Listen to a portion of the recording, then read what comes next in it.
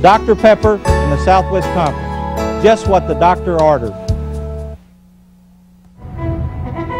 Thank you with all my heart for giving me this trophy.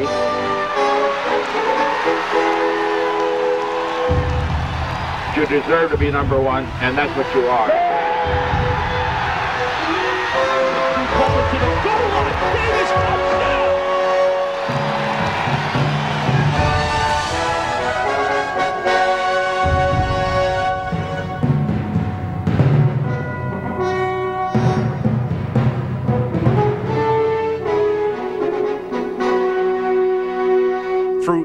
Years of its existence, the Southwest Conference has arguably earned the right to be called one of the greatest college football conferences of all times. With legendary stars like Sammy Baugh, John David Crow, and Earl Campbell.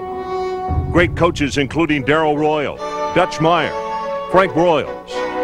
Memorable games such as the 1935 SMU versus TCU game, the 1956 TCU versus Texas A&M Hurricane game, and of course, the 1969 Big Shootout, pitting top-ranked Texas against number two Arkansas, remembered by many as the game of the century. This is the legacy known as the great days of the Southwest Conference.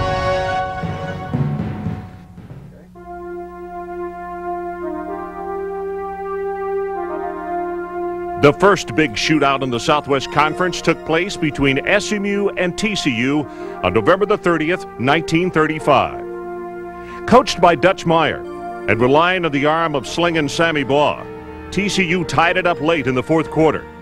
The game turned when SMU standout Bobby Wilson reeled in a 37-yard touchdown pass from Bob Finley on a fake punt to put SMU on top for good, 20 to 14.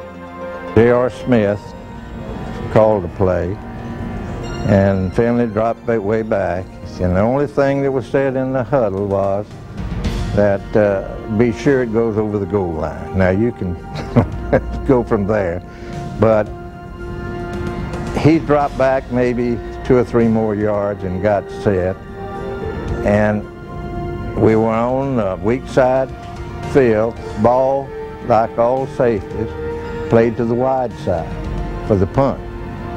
And uh, as I went down the field, as I got around, I guess, the two or three yard line, I could tell the ball was coming over my other shoulder. I could, so I turned in midair and caught the ball on, on the other shoulder, and I guess I was over the goal line when I came down, and that, that was it.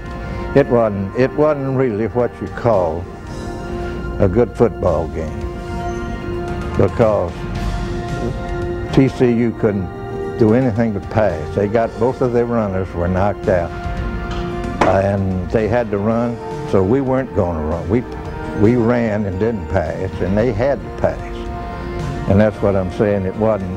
It was a spectacular game for the people in the stands. Matty Bell's SMU Mustangs went on to a national championship at a 1936 Rose Bowl matchup against Stanford.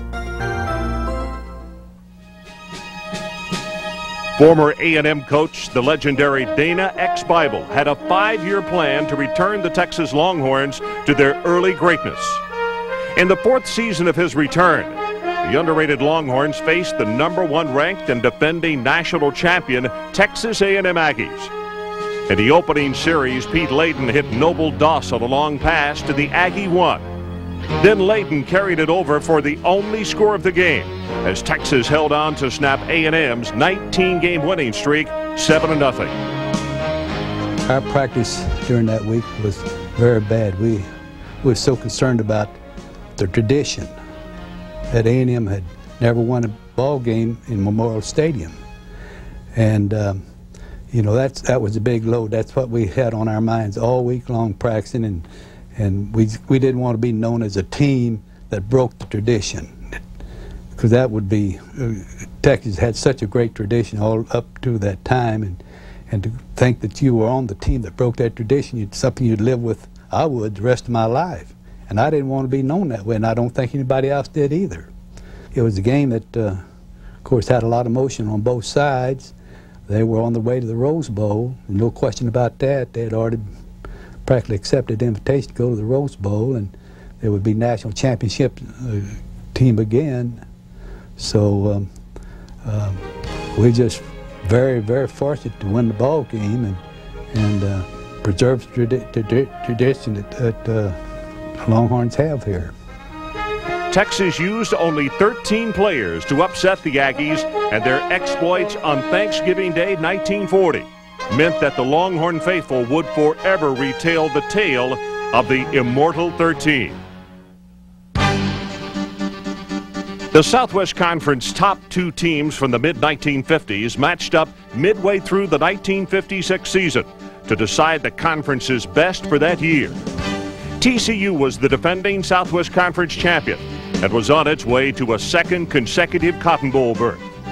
A&M was in the midst of a 9-0-1 season in Paul Bear Bryant's third season in Aggieland.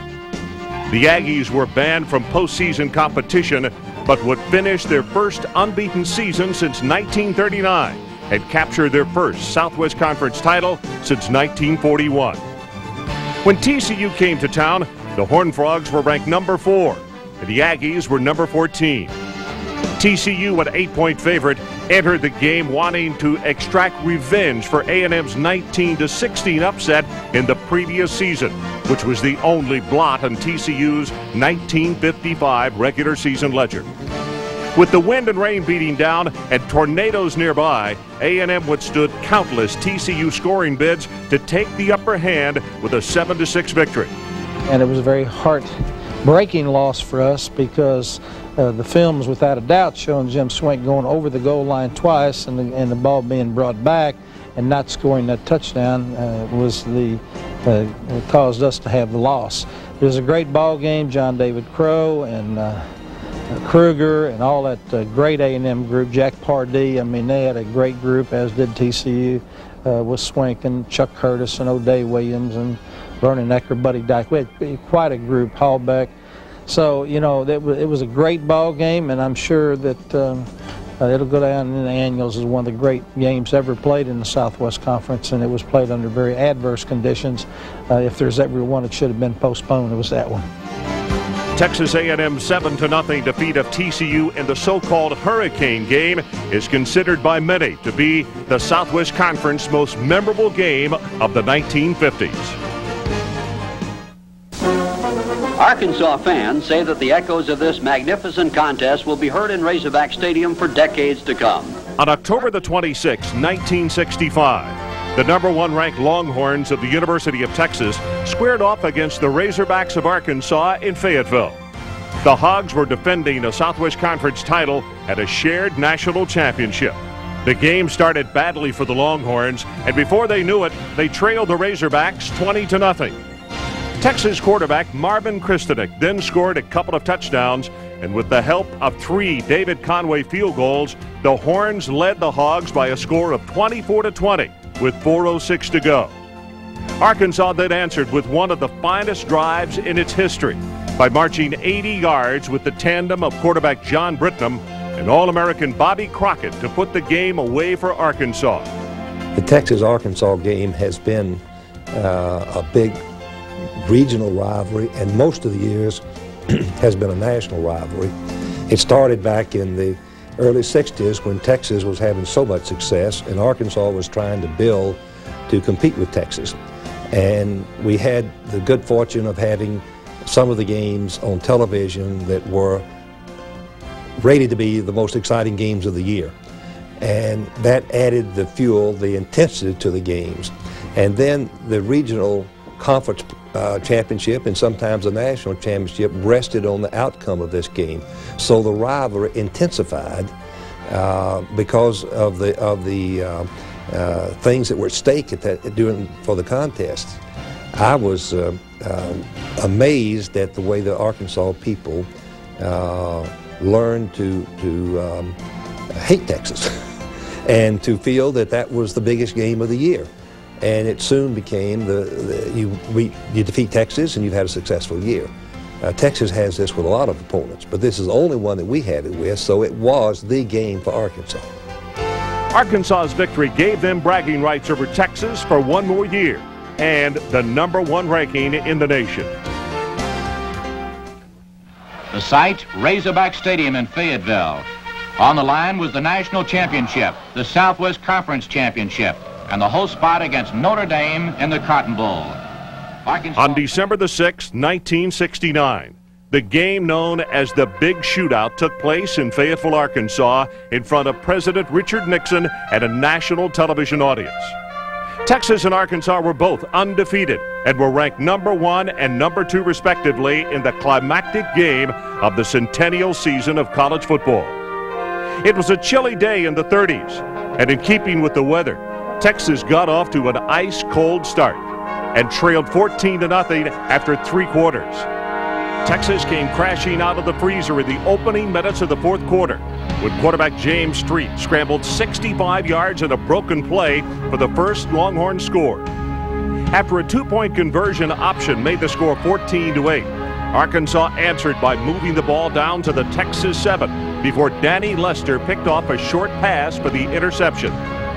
With only 4.47 left to play and Texas facing a fourth and three on its own 43 yard line, Coach Royal made a gutsy call a veer pass.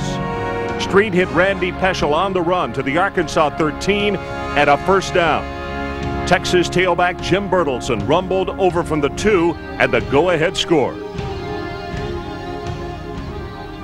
I give Coach Roy a lot of credit. Again, uh, having the ability to make that call at that time, I think takes a lot of guts, takes a lot of insight, and just uh, he never thought about what the outcome, and we've discussed it many times since then. And if if it hadn't worked, the pass play hadn't worked, it'd probably been called uh, the dumbest play in history. But as it turned out, we go to the sideline.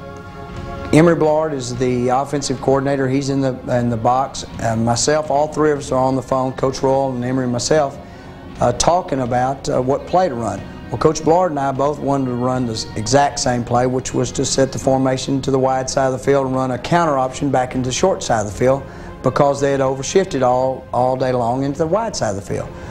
Coach Royal out of nowhere, never been discussed or anything, says right 53 veer pass caught us both off guard. Um, again, I thought it would work, but uh, I, I couldn't believe the call. In fact, after I started onto the field, I came back to make sure, and I wasn't really questioning his call. I was questioning the formation to make sure that we were both on the same page. And uh, went out there and it worked. Texas had a 15 to 14 win at a national championship in a game that will go down as one of the greatest football exhibitions in the history of the Southwest Conference and the game of the century. On New Year's Day, 1970, Coach Ara Parseghian's Fighting Irish of Notre Dame, ending their 44-year ban on bowl games, faced the powerful wishbone offense of Texas in the Cotton Bowl. On a wet and torn up field, the result of an NFL playoff game the night before, Joe Theismann quickly put the Irish up 10 to nothing. But Texas answered with a nine-play drive to come within three. In the fourth quarter, Koy of Texas capped a 77-yard drive to put Texas up 14 to 10. But Theismann and the Irish came right back with a 24-yard touchdown pass to put Notre Dame back on top with only 6.52 remaining. 13 plays later, facing a fourth and two. Street connected with Cotton Speyrer to put Texas on the two. Two plays later, Billy Dale bowled his way into the end zone for the win and a perfect season for the national champion Longhorns. That was a hard ball game. We're behind with about six and a half minutes, seven minutes to go, and we're, I don't know, we're deep in our end of the field. And we started moving the ball with a running attack and all this time we're eating up clock. So it looks like if, if we drive down there and use up all the time and don't score, then we're, we've lost any chance. But we decided to go with what we did best, and we thought running game was the best thing we did, and uh, we could execute that better than we could the passing game. And uh, so we stayed on the ground and, uh, and scored. Arkansas, uh, Arkansas, Notre Dame came right back on us, and we had to intercept a pass to kill that kill their drive at the end of the game, even after us going down and scoring, using up all that clock. Texas would remain unbeaten throughout the following regular season.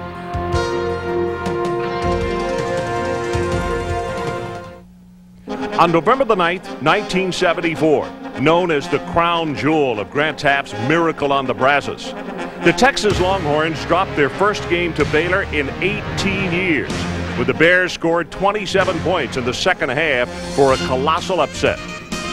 Grant Teaff, coach of Baylor, introduced a new counter for the wishbone offense of Texas. Texas was not prepared for it. Baylor switched the responsibilities of the cornerbacks and defensive ends, which left the cornerbacks free to pursue Texas quarterback Akins on the option.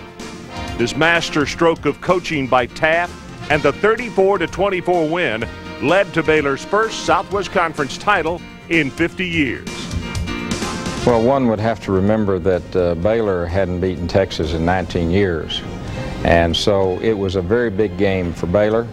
Probably was not that big a game for the University of Texas since they had been the Southwest Conference champions six years in a row. And they were picked to uh, be that again, and Baylor was picked dead last. So I think our probably, our emotions were a little different than the University of Texas. Uh, we, we wanted to win. We uh, felt like we were prepared to win. We get in the game, and uh, we end up 24 to 7 down at halftime. People began to leave the stands, said the same old thing. Texas is going to cream Baylor and go on and win their seventh championship in a row. But something happened on the way to the second half, and that was uh, we had some really strong leaders on our football team, Neal Jeffrey and others that uh, came into that dressing room at halftime very confident that they could come back and win. Uh, very frankly, their confidence uh, uh, really uh, gave me confidence. We went back out. We had always been good at the kicking game, and we blocked the punt, and that turned the game around, and we ended uh, up winning it uh, 34 to 24. And uh, the fans came back in the stands. They left the lights on all night and the scoreboard. Darrell Royal came into the dressing room after the game was over and told our players they should go all the way. We took him at his word and went all the way.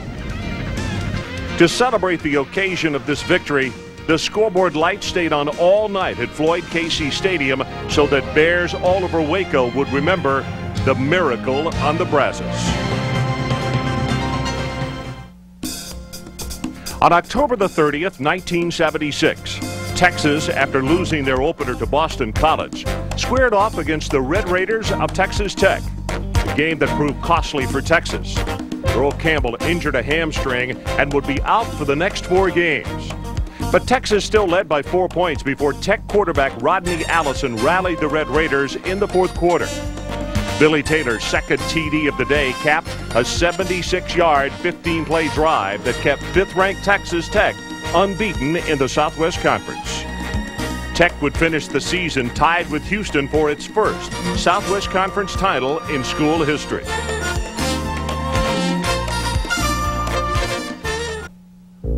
In 1986, Southwest Conference observers will always point to a game that they hail as one of the greatest comebacks in the conference's history. Grant Teaff's Bears, which had not lost to A&M since 1982, handed the Aggies their only Southwest Conference loss in 1985 and were 6-1-1 against the Aggies since 1978. After the first quarter, it appeared Baylor still had A&M's number as the Bears led 17 to nothing. The margin could have been worse if not for a goal line stand by A&M that prevented a third Baylor touchdown. A&M awoke in the second quarter as Kevin Murray led an 80-yard, 12-play march that ended with a five-yard scoring pass to tight end Rod Bernstein. On A&M's next possession, Murray hit split in Rod Harris for 68 yards on a crossing pattern to set up a one-yard scoring keeper by Murray. Baylor led at halftime 20 to 14 and extended the lead to 27 to 17 after three quarters when Bear quarterback Cody Carlson scored on a three-yard run. Murray, enjoying his finest day as the Aggie signal caller, would not be denied. He led his team back with a 74 yard drive capped by a five yard scoring pass to Keith Woodside. Murray keyed a final march to victory that ended with a four-yard pass to Tony Thompson, who bobbled the ball before catching it for the tying touchdown. Scott Slater's conversion kick won it. The, the, 1986 Baylor game was one of the best that I've ever been involved with. Uh, Baylor had an outstanding team that year. Uh, we had a good team. Both teams were high-powered on offense and, and, had real strong defenses. So we knew it was going to be a good game. I, I remember Baylor throwing a, a little hitch screen, crack screen early in the game and going about 40 yards uh, with, for the touchdown with that. We got down 17 to nothing in that game, and Baylor actually had the ball on our goal line trying to trying to go in to, to make it uh, another touchdown, 24, and uh, they elected at the end, we held them three downs, instead of kicking the field goal to make it 20, they elected to go for it on fourth and one, and we stopped them. And we turned around, we took that ball, and our offense went 99 yards for a touchdown to make it 17 to 7 and we came back and won that game. And really, what a what a great contest uh, because there was outstanding defense played on both sides, and both quarterbacks played well. Uh, uh, Baylor at that time actually had two quarterbacks, Cody Carlson and, and uh, a young man named Muecke. That was uh, a quarterback, and they alternated those guys. But uh, certainly one of the most exciting games from a fan standpoint and from a coach's standpoint, being down there close. that fourth and one will be a play I'll always remember. This game was named by Texas football voters as the game of the 80s.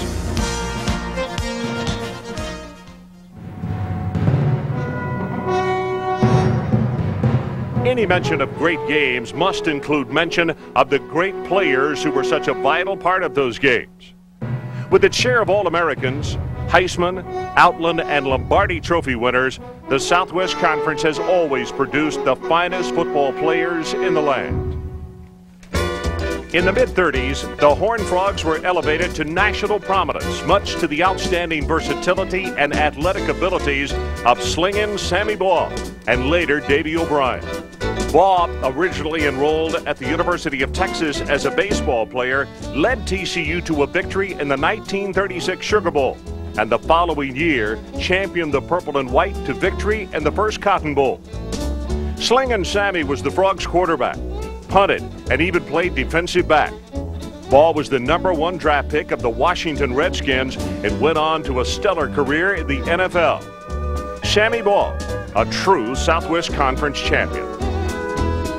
I've learned, I, I learned most of my football right at TCU under Dutch Meyer. I, I didn't learn a damn thing in pro because we were we they didn't play the brand of ball TCU played in those days, and uh, they didn't want you to throw the ball. You got 20 yard line and throw. Nobody would throw the ball. The third and long, that's when they'd throw.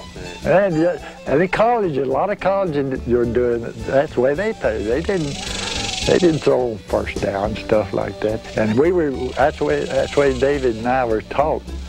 And uh, I, have got a feeling we were the only damn quarterbacks getting that kind of teaching in those days. In 1937, TCU was again aided with the talents of an outstanding quarterback in the form of Lil Davy O'Brien. Given the nickname Lil Davy because he was only 5'7 and weighed 145 pounds. O'Brien guided the Horned Frogs to the 1938 National Championship and was named the first Heisman Trophy winner from the Southwest Conference and the first from any school west of the Mississippi. Legendary TCU coach Dutch Meyer said, Baugh may have been a better all around player and a better passer, but as a field general, O'Brien was the finest play selector I have seen. Well, he was really a thinking man's quarterback, and, and he was so durable. He, he was a 60 minute player. Very good on defense, on, on uh, punt returns, and uh, just really a superlative passer. Uh, I, I, saw him at a big game here in Waco, and uh, marvelous short passer. They just couldn't stop him. Uh, and of course, he proved that in the pros, where he was one of the NFL's top passers before he became an FBI agent the latter part of his career and, and on into his life. The second Heisman Trophy winner of the Southwest Conference joined the Mustangs of SMU in 1945. The 165-pound halfback was known for pulling games out of his hat. It became one of the first post-war superstars of the conference. An all-around athlete, he played on SMU's basketball and baseball teams. His name, Doak Walker. Doak's exciting style of play and incredible statistics, such as 312 points in four seasons, a 29 yard kickoff return average, and eight interceptions as a defensive back, clearly places him on a pedestal as one of the Southwest Conference greatest. At that time was uh, kind of a hero worship uh, era. Uh, guys had just come back out of the service, and it was a start of a whole new life for a lot of people. And uh, I think the collegiate life was uh, probably as high ebb as, uh, as it's ever been. And uh, college football uh, was probably at its peak during those years of, being accepted and uh, nationally by everybody. The students, the, the, I guess the faculties, the coaches, and uh, just in general, the whole, whole United States. Coach Bear Bryant had only one Heisman Trophy winner in his career in the form of John David Crow. Hidden in 1954 from rival recruiters at the famous training camp in Junction, Texas, Crow played under Bryant at A&M 1955 through 1957 and led the Aggies to an undefeated season in 1956. This star running back's first touchdown, a 77-yard scramble against LSU, was described by Coach Bryant as the greatest run he ever saw. When we played, it was a different game. Uh, you, you, had to play both ways. You had no free substitution. Uh, so you had to play offense and defense. It was more of a, a, a who could outlast uh, the other the other person longest, who could um, who could take more punishment, uh, who could uh, uh, not get tired, you know, because. fatigue makes cowards of us all. I remember hearing that many, many times, and, and because if you're in better shape, in the fourth quarter, you'll eventually win. And, and, now it's it's a skill game. It's a it's a game of, of, of more or less kind of chess, or, or, or in, in some respects, because you most people have pretty good talent, uh, uh, but they but how you play the game and the techniques and and, and the philosophy and, and what you do on the field a lot of times determine, uh, mo most of the time determine the, the, outcome of the game. But when I played, it was more or less who was the toughest and who could outlast the team and stay ready and, and who's in the best condition. 1963 brought the Longhorns a trend-setting linebacker named Tommy Nobis. This 1965 Outland Maxwell and Rockne Trophy winner, was a key player in the 1963 Texas team, which captured the national championship. For years after he left Texas, Longhorn freshmen were required to face his portrait and sing The Eyes of Texas in honor of this great player. A 1964 consensus All American, Nobis was a ferocious hitter who attacked ball carriers chest high and stood them up straight. His motto, hit them in the goozle.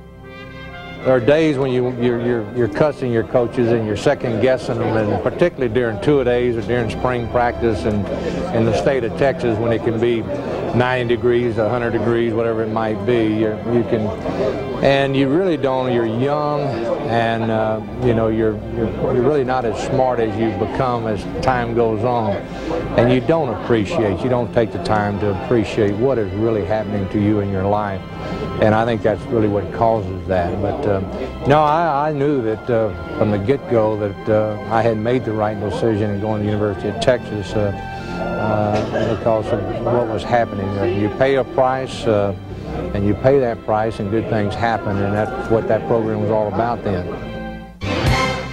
Known as the Golden Palomino, Texas Tech star running back Donny Anderson finished fourth in the Heisman Trophy voting of 1965.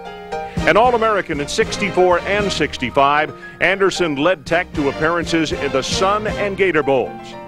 His 5,156 all-purpose yardage total ranks him fourth all-time in the conference, and amazingly was amassed in only three years. A 90-yard run against TCU in 1964 still ranks as the longest run in school history.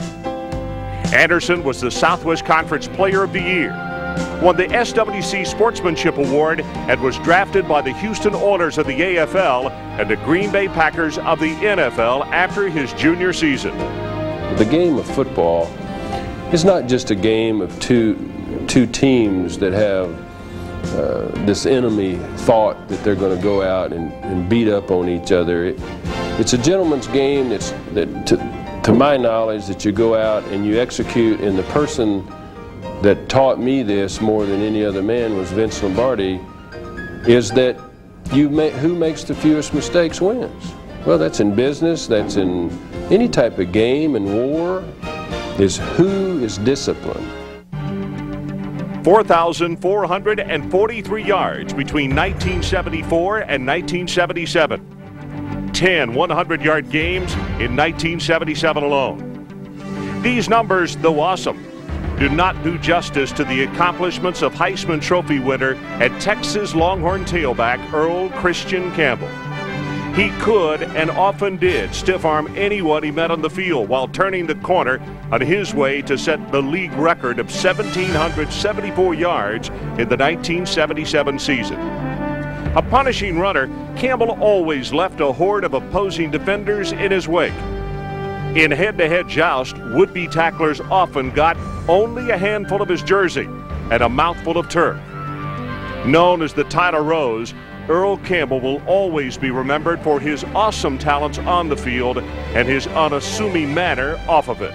I didn't realize what the Heisman Trophy was until I was working on help building Bass Hall over at the university, you know, right in front of the stadium. Well, my summer job was toting plywood. You know, a little, uh, where the baseball field was down there, there's a little stream down there.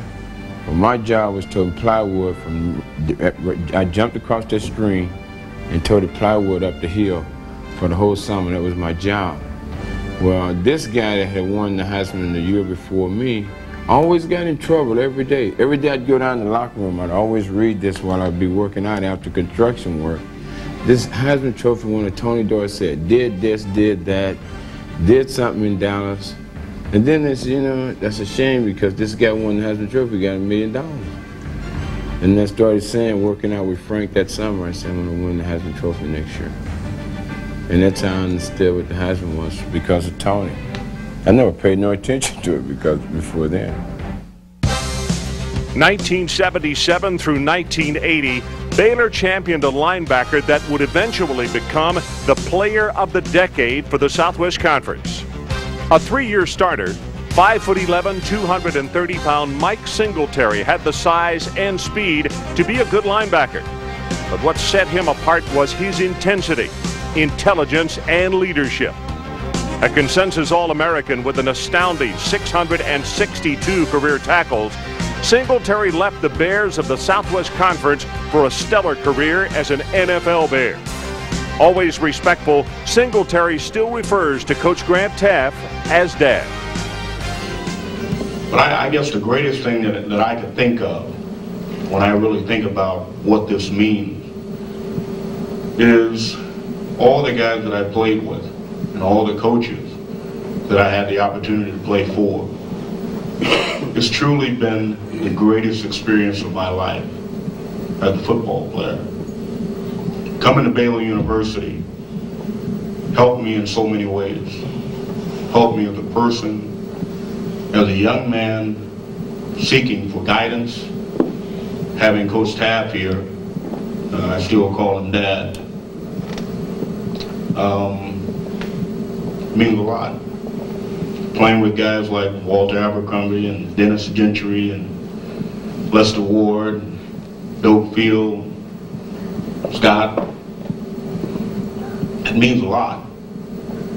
And the guys that are here, you don't really know what that means until you ask other guys that are playing professional football now.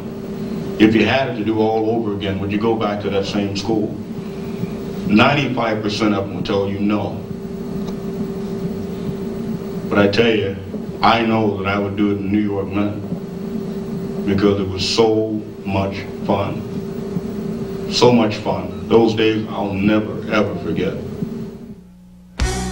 As a famed member of SMU's Pony Express, tailback Eric Dickerson teamed with Craig James to propel the Mustangs into an 11-0-1 season in 1982, when the Mustangs finished number two in the nation. Dickerson became SMU's all-time leading rusher and third in the history of the Southwest Conference by amassing 4,450 yards in 790 attempts. A combination of power and grace, Dickerson was another in a long line of outstanding SMU superstars like Doak Walker, Kyle Rote, and Jerry LeVias. Eric Dickerson was voted a consensus All-American in 1982.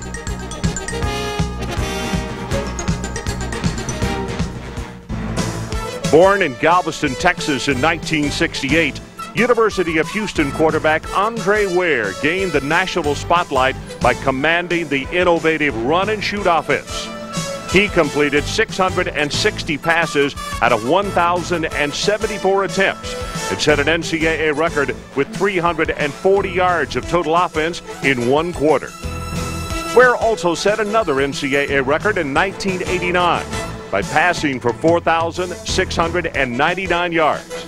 In that year alone, Ware set 26 NCAA passing and total offense records. Named as the Southwest Conference's Player of the Decade, Andre Ware won the Heisman Trophy for 1989.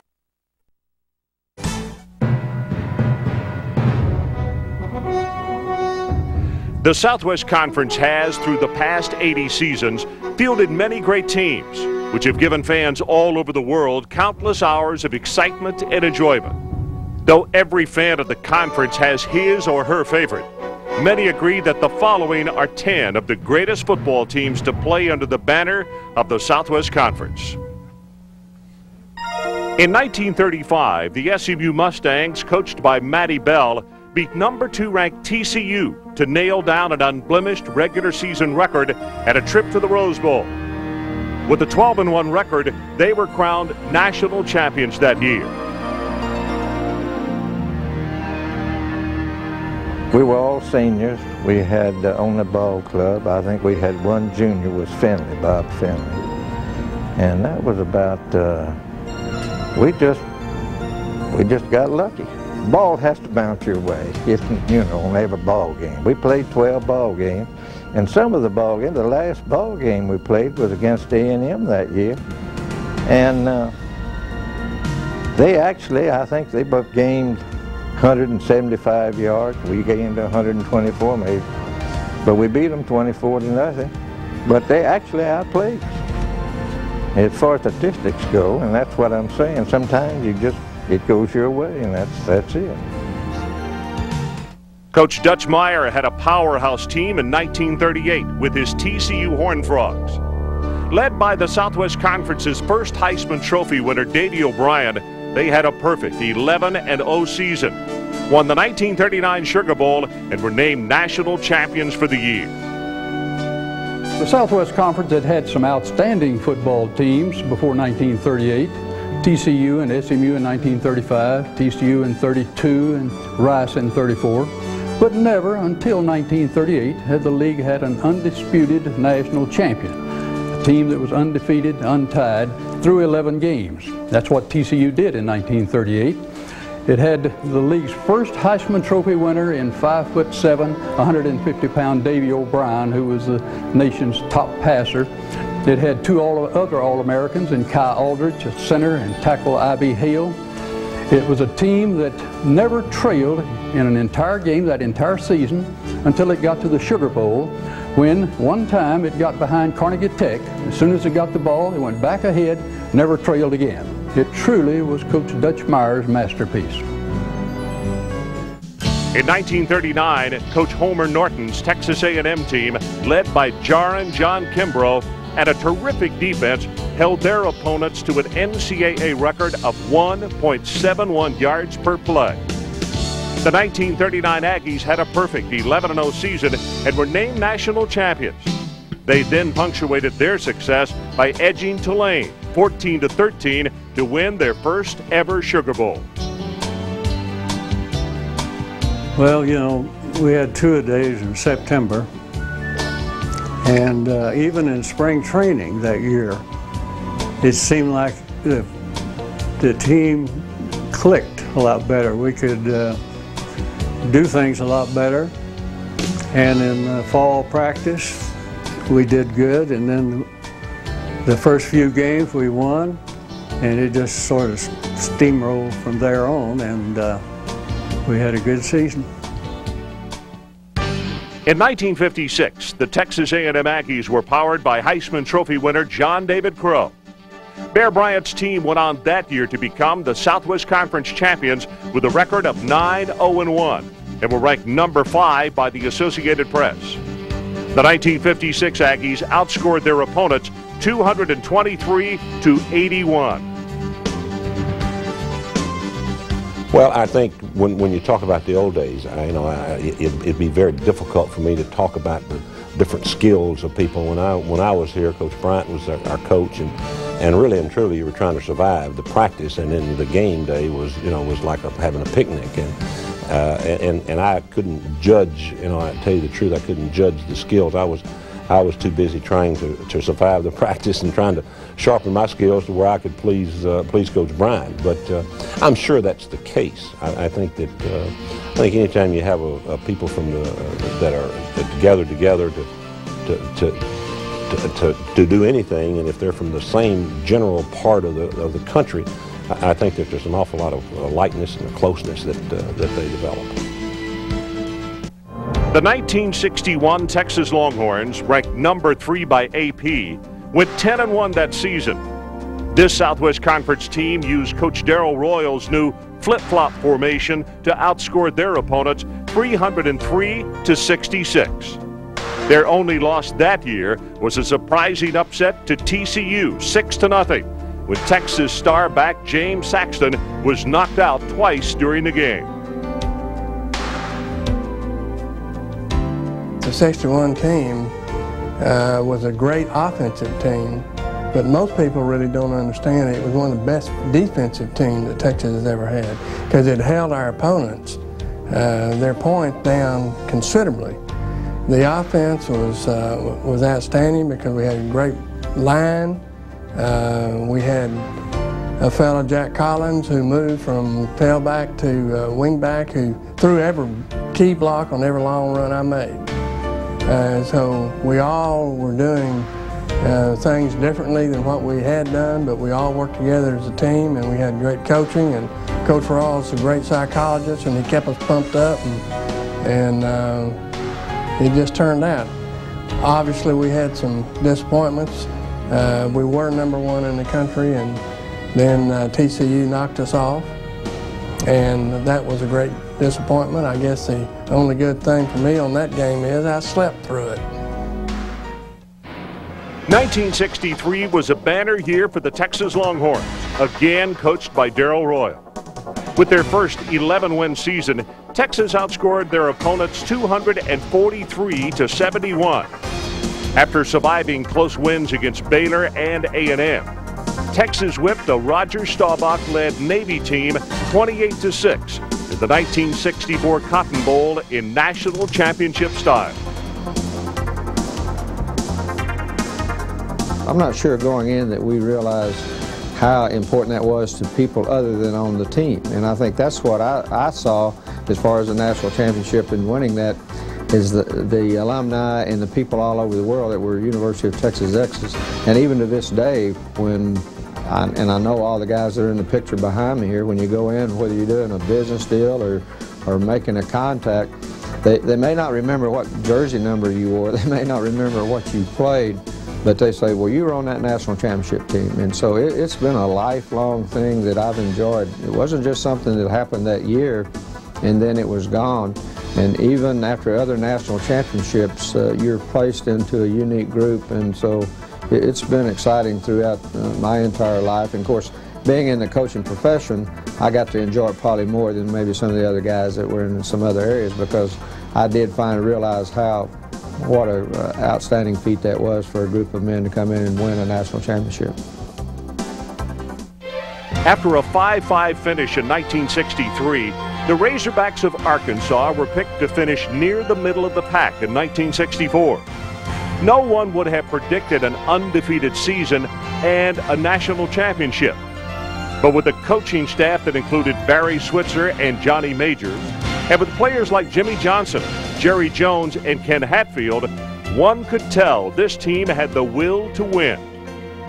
Utilizing a crushing defense led by Lloyd Phillips, the Porkers beat defending national champions Texas 14 to 13 in Austin on the strength of Hatfield's 81-yard punt return.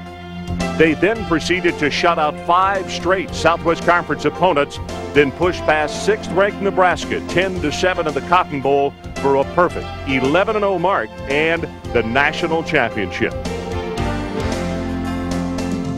The 64 team did not have the most ability of, of, of, teams we've had at Arkansas, but they had the best morale, they had the best attitude, they had the most character of doing what had to be done, and we got on a roll.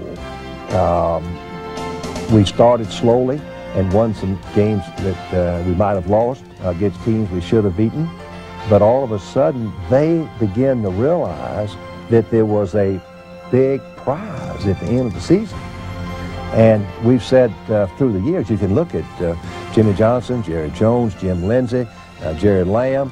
Uh, all, I just go on and on of the successful careers that these men have had after graduation to show that this team had something from the inside. And when we started this role of shutting the opponents out, uh, giving them a, a, a goose egg, and, and points. Uh, you cannot believe the way they played. They played like Superman. We shut out the last five. After we got one shutout and the second shutout, that's all we talked about. We're going to shut the next team. And they played better than their ability. And that's what championship teams do, is play better than their ability. And the average players play great, and the great players play even greater. And that's what happened in this team. Considered by many to be the greatest Southwest Conference team of all time, the 1969 Texas Longhorns, utilizing a devastating wishbone offense refined from the previous year, propelled themselves to a perfect 11 0 season. As an entire nation set spellbound, Texas staged a dramatic comeback victory over number two ranked Arkansas. After being named national champions, they went on to beat Joe Theismann and a powerful Notre Dame team in the 1970 Cotton Bowl. We won all the close games. We uh, we won the, the one-pointer against Arkansas, and some people we did blow away. Uh, quite a few of them. We had to we had to make some good drives to come back a couple of times in '69. But uh, we finished up 11 and 0, and and, and from the long streak from before, so that put us at about 20 something wins in a row. So uh, we easily uh, were voted the, in all the polls as national champs that year. It was a good football team. I don't mean to put it down.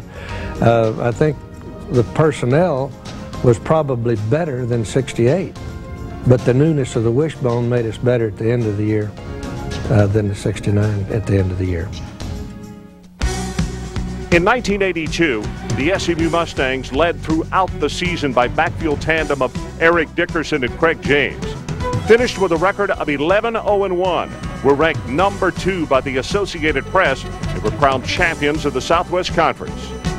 The Ponies outscored their opponents that year 354 to 160 and roped Dan Marino and Pittsburgh in the 1983 Cotton Bowl. I remember one of the key selling points for the coaching staff was they used to tell me as a senior, hey, the Cotton Bowl is the house that Doak and Kyle Rote built. We're going to Texas Stadium. It can be the house that Dickerson and James built. And I thought at the time, you know, Doak Walker and Kyle Rote, man, who are those guys? You know, I've heard of them, but what about the Cotton Bowl and the house they built? And so as time went by and I was a part of history in the making, uh, it really became a special deal because I knew that Kyle and Doak were watching and that they knew what was going on, and that was special to me. The 1992 Texas A&M team finished the regular season with an unblemished 12-0 record. Continuing its dominance of its Southwest Conference brethren, the Aggies claimed their fifth Southwest Conference title in seven years. The team we had in, in uh, 1992 was really a special group of young men. Uh, we started off the year, had a great trip. We went out and played in the Pigskin Classic in California in Anaheim. Played uh, Stanford. Bill Walsh was coming back for his first game back in college football after coaching the 49ers. And we played them in the opening game in Anaheim Stadium. We got a chance out there to spend some time, took our team out to Disneyland, and really just, it was a great trip. And uh, we won that ball game, close ball game. We were actually behind at halftime, came back and won the game. And little did we know, I told the team at halftime, didn't matter. We could come back in the second half, win the game. After the game, I told them that that should be a valuable lesson to them about what can happen in a game if you keep playing hard. Little did I know that season that in six of our games we would be either down or tied at halftime, and we came back and won every one of those games. We finished the year 12 and 0, and we became, I think, the fifth college team in history of college football to ever win 12 regular season ball games. So, outstanding team. Uh, uh, you look at guys like Quentin Coryatt. We had the uh, uh, Jeff Granger was our quarterback for about half of that year. Corey Pullig was a true freshman. And by the middle of the year, we, we played. Corey was getting better. Uh, Jeff got knocked out uh, in a ball game uh, about the latter part of the season. Corey comes in, takes over uh, as a starter, ends up uh, playing the last game of his freshman year in Austin. Uh, we beat Texas in Austin with Corey as a freshman quarterback and then go play in the Cotton Bowl. So it's really a heck of a team and I think one of the special teams in A&M history. Throughout the last eight decades, outstanding players, teams, and coaches have given the fans of the Southwest Conference an unforgettable legacy.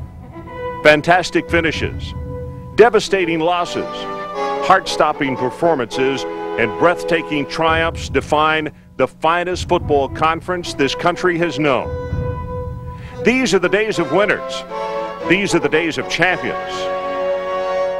These are the great days of the Southwest Conference.